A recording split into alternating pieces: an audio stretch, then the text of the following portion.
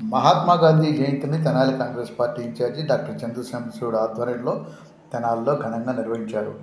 ఈ సందర్భంగా municipal market సమీపంలోని మహాత్ముని విగ్రహానికి పూలమాలలు వేసి ఘనంగా నివాళులు అర్పించారు మహాత్ముని ఆశయ సాధన ప్రతి ఒక్కరూ కృషి చేయాలని చెప్పి సూచించారు. ఈ కార్యక్రమంలో పొన్నూరు నాగ సూర్య శశిధర్రావు శివశంకర్ ప్రభుత్వం పాల్గొన్నారు. ఈరోజు భారత జాతిపిత జాతిపిత పాదరాతి నేషన్ మహాత్ముడు అయినటువంటి మహాత్మా మోహన్ దాస్ కరమ్చంద్ గాంధీ గారి యొక్క నూట యాభై ఐదవ జయంతి.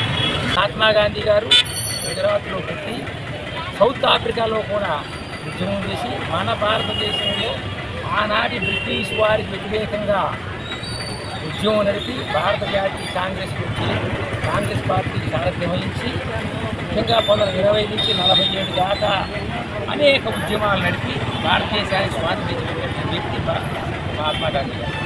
మహాత్మా గాంధీ గారికి ఆయన యొక్క ఆశయాల మీద సిద్ధాంతాల మీద ఇప్పుడు దాకా కూడా భారత జాతీయ కాంగ్రెస్ పార్టీ నడుస్తుంది.